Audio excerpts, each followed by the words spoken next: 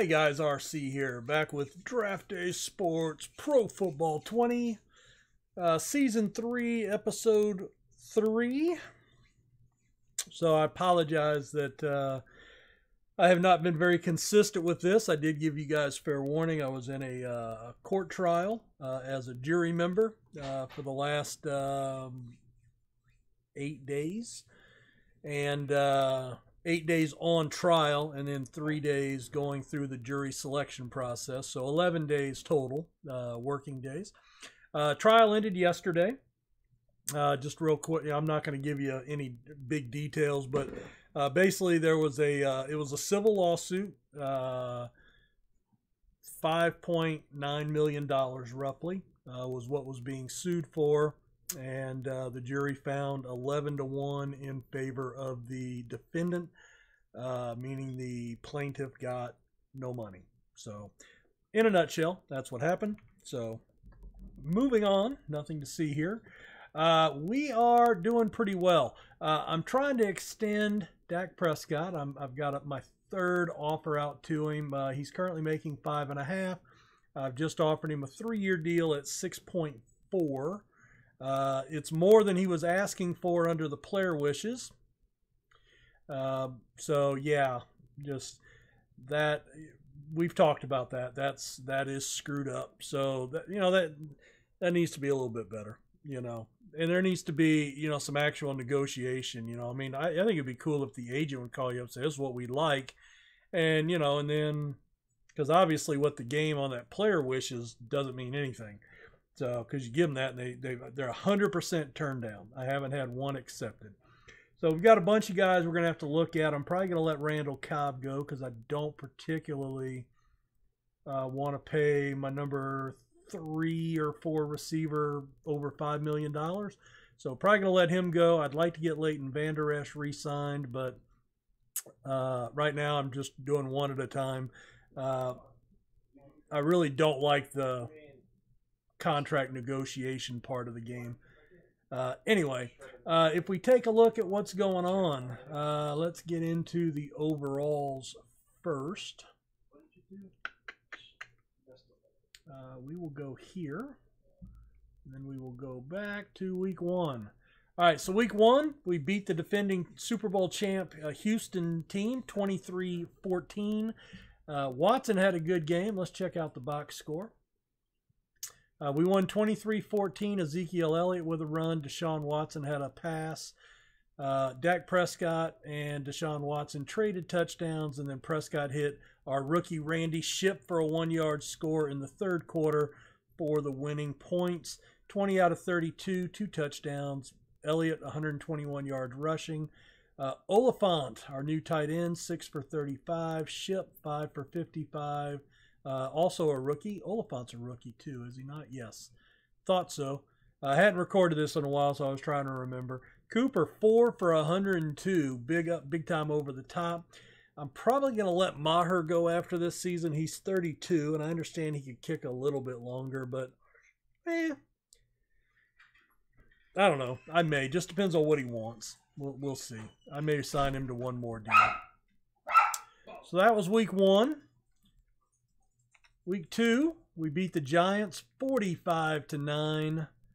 Uh, Daniel Jones actually led uh, passing 206 yards. Prescott 10 out of 18. Uh, Sharp, our rookie out of Michigan State, got his first uh, playing time. 4 out of 5, 44 yards and a score.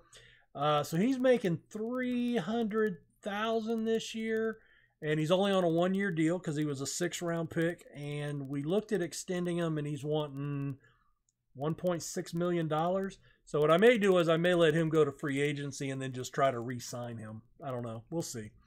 Uh, but yeah, he's he's you know I think he's asking a way too much for a backup. Um, probably should have. But see, I couldn't even offer him a longer deal just because you know because the contracts are automatic. So you know is what it is. Uh, let's see. Elliott, 106 yards. Pollard, 48 yards. Ship, nice game. Four catches for 78 and a touchdown. Cooper, three for 76 and a score. So uh, playing pretty well there. Moving on to week three, we beat uh, Tennessee, hung on 20 to 19. Uh, they we got the uh, field goal to put us up. Uh, we got the touchdown in the third quarter to put us up by a point. Brett Maher extended it to a four point lead in the fourth quarter early on. They got one back with uh, just under four minutes to play to make it a one point game, and then we made it stand up. Kind of surprised Mariota's still there, but he's performing better on the game than in real life, I'm afraid. Uh, Prescott, 22 out of 38. Again, 237 yards. Elliott, 86. Uh, Prescott, one carry for 24 yards and a score. Sweet. Well, he was tackled for a safety, and then he had a 24 yard touchdown run. Eh, interesting. All right, week four. Carolina edged us 30 to 24. Uh, Dak Prescott had a big day. Uh, for us, 24 out of 42, over 300 yards in the loss, two interceptions though, 69 rating. Cam Newton had a big day. Uh, Christian McCaffrey, 18 carries for 123 yards. That dude is a stud player, and if he played for anybody but Carolina or Atlanta, I'd, I would probably be a big fan. but that's the Saints division, so don't want to see him doing too well. Uh, we beat the Cheeseheads 17 to 13. Uh, DeShone Kizer is the starting quarterback. Not sure. Let's see. Stats. Well, he started two games, so I'm guessing.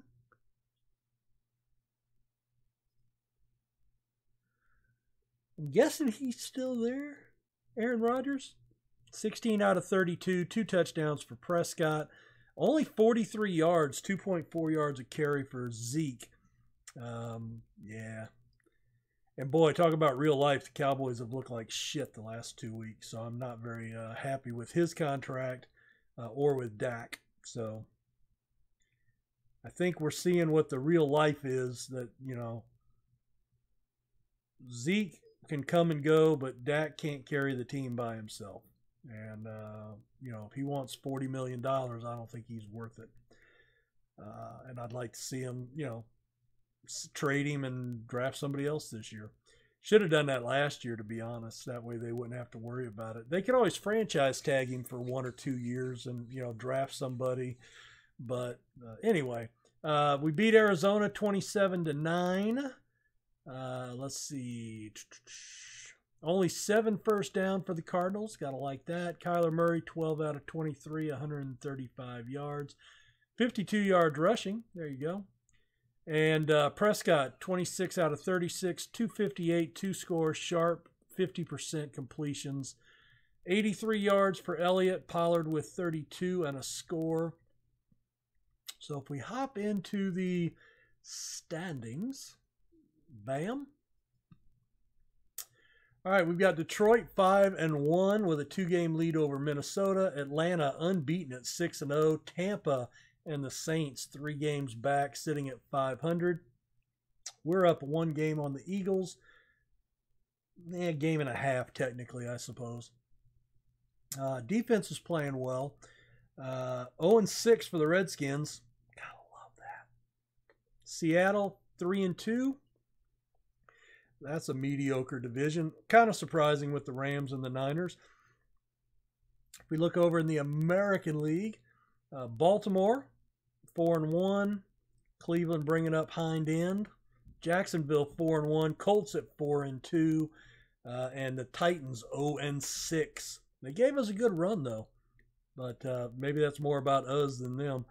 Uh, the Jets five and one, Bills four and one, Patriots three and three here in the early going. Keep in mind Brady finally did retire, as did the Saints and uh, Brees for the Saints. Chargers are six and zero, oh, Chiefs four and two, Raiders still trying to find their way, and the Broncos looking for a win. In the offense category, we are eighth in points, seventh in yards, sixth uh, rushing and 13th in passing. So nothing on the leaderboard. On the defensive side, we are number four in points per game, number 10 in uh, total yardage, 21st against the rush, and sixth against the pass. So not doing too badly. We've got 14.6 million left on the cap, so we've got some room for next year. Uh, plus, we'll pick up some by some of the players that we let go. Uh, if we head to our club and we go to player stats, that's not what I want. Mm, well, maybe it is. Oh. Hmm. Team menu. Oh, there we go. Statistics under team. All right, passing. So Prescott, 59% completion, eight touchdowns, two picks. Uh, he has been sacked 3.4%. Don't know what that equates to. 7 of 11 for our rookie. On the rushing side, 532 yards for Ezekiel Elliott, five touchdowns, two for Pollard with 186 yards. Receiving, taking a look at catches 30 for the rookie Ship, 29 for Cooper, 24 for the rookie Oliphant, uh, 574 for Cooper on the yardage, and four touchdowns apiece for Cooper and Ship over the top. Cobb has one. Oliphant looking for his first touchdown. Is that thing blocked over there? Yeah. Uh, then uh, let's see. Special teams. Gallup has a punt return for a touchdown. Let's see. We've got uh, 39 tackles for. Who was that? Anthony Brown, the cornerback. If your corner leads your team in tackles, I don't think that's a good thing. Jaylon Smith, 31. Uh, who is this? Michael Jackson, another another cornerback with 26. And then we've got uh, three picks: Jones, Jackson, and Brown. Sacks four for Covington. Jones, Lawrence have some sacks, forced fumbles, three for Demar uh, for Lawrence. Heath, the safety, with two. Jaylon Smith, the linebacker, with two. Hey guys, I am recording, please. Thank you. Uh, let's see. 22 pancakes, 20 pancakes. 7 and 9 on field goals. Why did Jones attempt a field goal? Interesting. That's interesting. And three penalties for Hill and Lawrence for 25 yards. Got to be pass interference, I would think. Or, or personal fouls, roughing the passer type thing to get that many. Uh, what else do we want to look at? Oh, I wanted to show you just to take a look. Uh, you can go into the trade screen and hit the view league trade block, and then you can sort by position. But you can see how many. This is the uh, controller here. So you can see all the players sorted by position that are on the actual trade block. If we look at age-wise, so German cook, you know, German cooks, Italian cooks, French cooks, they're they're they're all good. Uh, who's this guy? Byron Murphy, William Jones, James Goss, David Montgomery. All right, so you know, anyway, it gives you an idea of some of the players on the trade window. And oh, I wanted to give a shout out. And let's see if we can figure it out. So bear with me here. Um, so Asker Kirkby Henrup I know him. I don't know his forum name, but I know him from somewhere because I recognize the name. But he's he's in one of my leagues, I think. Maybe at Sim Nation, or we were in a league together. Don't know. Or maybe he's affiliated with Wolverine, but I know him from somewhere. Uh, he said you can edit playbooks and game plans by switching the drop downs from coaches to custom. So if, but I'm not going to do that. But if we go into strategy, maybe right there. So you can go to, so it's main screen, click on Team Management Strategy.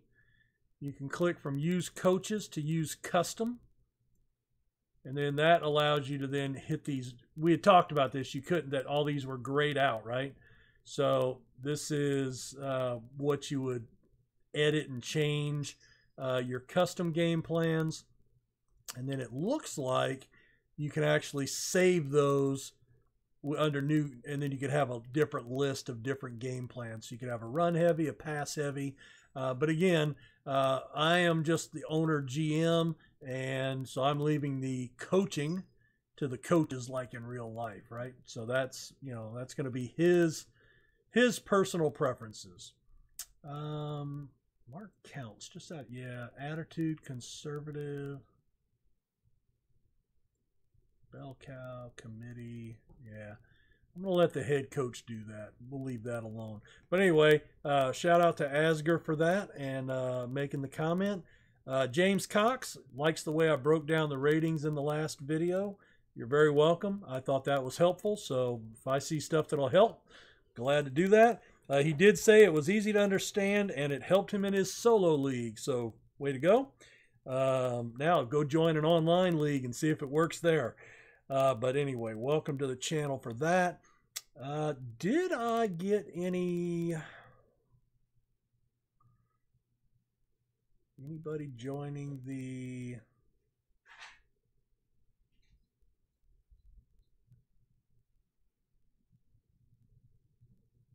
I'm looking to see if anybody's joined the channel lately. I'm not seeing anybody. I'm looking. Uh, Darnell Riley back on September 27th. That was actually the day I went in for jury duty the first day. So, uh, yeah, I really haven't been paying a lot of attention. I've just been trying to get videos up daily and uh, do what I could with uh, being in court every day. So, uh, anyway, that's where we are. We're playing well. Uh, if there's anything else you'd like to see in here, please let me know in the comments. Uh, hit the like button, subscribe, and all that other stuff. Uh, you can click on subscribe on my channel, on the video over in that corner, way over there, way over there somewhere, that way. Uh, got my little logo. Click on that, and it gives you a subscribe option too, I believe. Um, also, quick question any of you familiar with YouTube or experienced with YouTube, I just noticed that I have been putting the music at the beginning, which is there because I do check the beginning of every video. But at the end, I'm putting a subscribe button and a link to a different video. And I'm noticing those are not showing up. So my question to you guys is, is it showing up for you? And it would be like in the last eight to 10 seconds of the video, uh, right around the point where the, the ending screen comes up that says, thanks for watching with my big logo. Um, I'm wondering if I can't see it because I'm logged into YouTube under my name, but one of my kids checked on his YouTube account and uh, he said that he didn't see it. So let me know if you guys are seeing that, and if I'm not, and if you're not, if anybody knows why those end screen add-ons that YouTube lets you put in are not showing up, please let me know. I'd appreciate it. Anyway, guys, we will see you next time. Have a good one. Five and one. Maybe we'll make the playoffs this year. Take care. Talk to you later. Bye.